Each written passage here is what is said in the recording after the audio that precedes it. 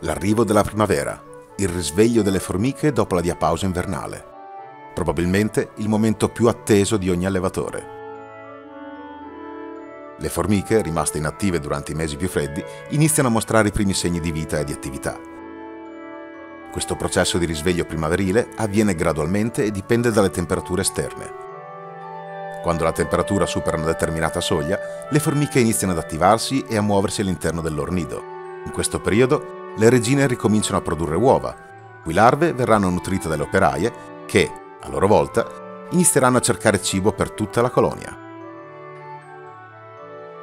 Un reminder prima che inizi il video. Ragazzi, tra poco ci sarà Entomodena. Noi ci saremo con più formiche, con lo staff al completo e con la nostra banca delle regine da cui potrete attingere, lasciare o scambiare colonie. Avremo anche i nostri gadget. Lo facciamo come sempre, insieme agli amici di Formicarium. Quindi non pensateci troppo e venite a trovarci.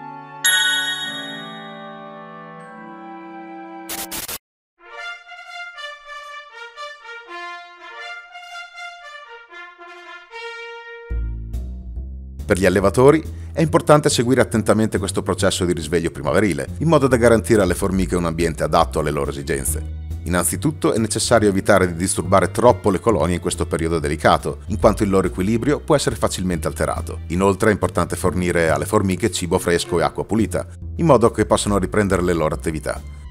In sintesi, il risveglio primaverile delle formiche dopo la diapausa invernale è un momento cruciale. Quello di quest'anno è stato un inverno davvero strano, è iniziato piuttosto tardi e non è stato eccessivamente freddo. Se da un lato questo è stato un bene per quanto riguarda le nostre bollette, per le formiche la situazione è leggermente diversa, soprattutto per le formiche allevate in cattività.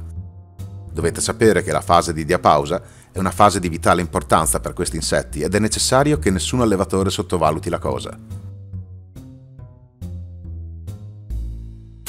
La diapausa è l'espediente grazie al quale le formiche possono superare un periodo di condizioni avverse. Nelle zone del pianeta con clima temperato, la condizione avversa è data dal periodo invernale. Durante la diapausa, le formiche mantengono un bassissimo metabolismo respiratorio, cessano totalmente di alimentarsi e di crescere.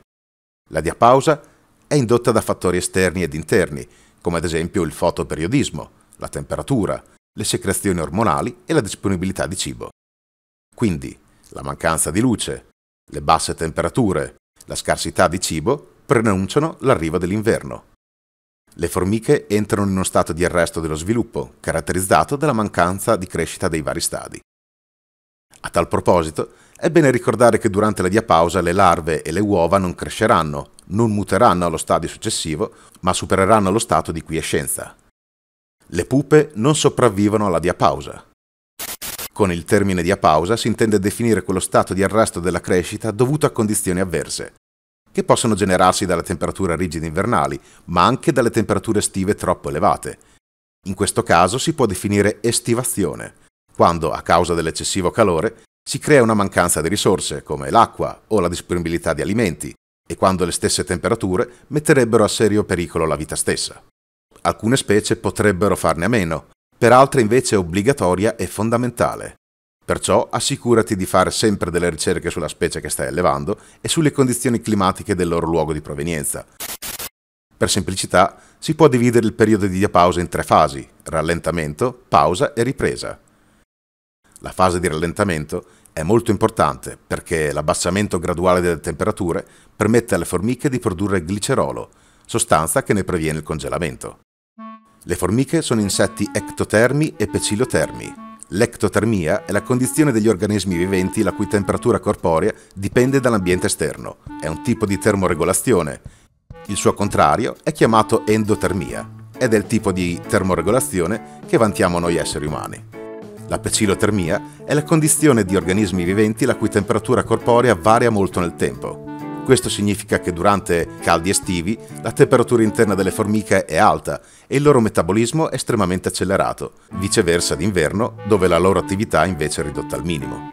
Possiamo tranquillamente vedere questa fase di rallentamento come un vero e proprio periodo di riposo, che serve alle colonie per prepararsi alla frenesia che caratterizza la bella stagione. Dunque saltarla non è la migliore delle idee, visto che rischieremo di arrecare un serio danno allo sviluppo delle nostre formiche e che inizieranno la primavera stanche.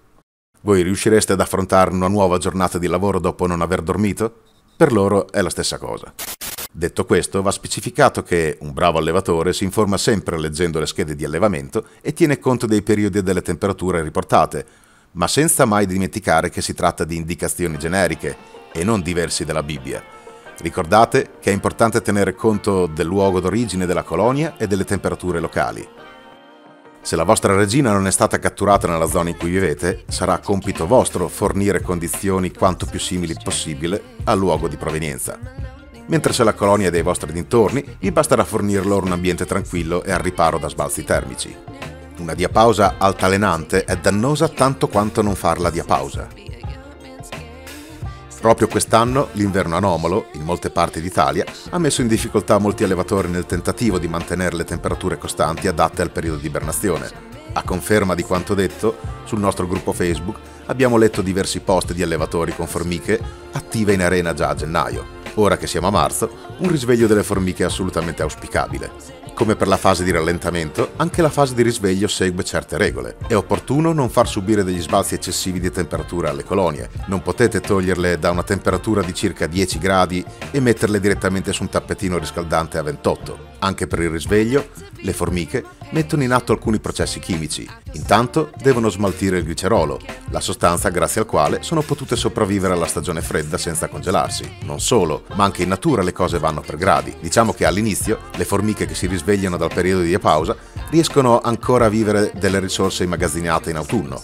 Quindi non hanno un eccessivo bisogno di alimenti, del resto, anche in natura non troverebbero tantissime risorse. Gli insetti in giro sono ancora pochi e le possibilità di rifornirsi di carboidrati sono ancora abbastanza scarse. Afidi e fiori non sono al massimo della produzione e numericamente sono ancora ridotti. Le colonie che vi mostro in questo video sono le colonie che ho appena riportato a temperatura ambiente. Non si nota molta attività né in arena né all'interno del nido. Ho ripreso a fornire alimenti, in piccole dosi, sia proteine che carboidrati, ma il più delle volte questi vengono quasi totalmente ignorati. Del resto siamo solo alla prima fase del risveglio, ad una temperatura davvero moderata e mite, ma non sufficiente a che si inneschi il completo risveglio. Queste riprese sono della settimana scorsa e al momento la situazione è leggermente cambiata. Un numero superiore di operaie è in arena alle ricerche di cibo e anche nel nido l'attività è aumentata. Ad esempio, proprio oggi ho notato un nuovo pacchetto di uova deposto dalla regina di Camponotus vagus. E con questo posso felicemente dire che l'ibernazione è finita e allevata in pace. Se il video ti è piaciuto lasciami il tuo like ed iscriviti al canale. Se hai qualche domanda scrivimi qui nei commenti o iscriviti al nostro gruppo Facebook. Grazie per la visione e al prossimo video.